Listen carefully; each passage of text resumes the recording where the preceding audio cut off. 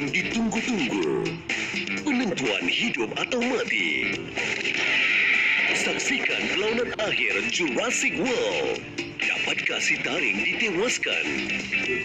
Nantikan Jumaat ini, 3 Februari 10 malam. Secara langsung dari Stadium Costa Rica, disiarkan oleh TV3 Cinema.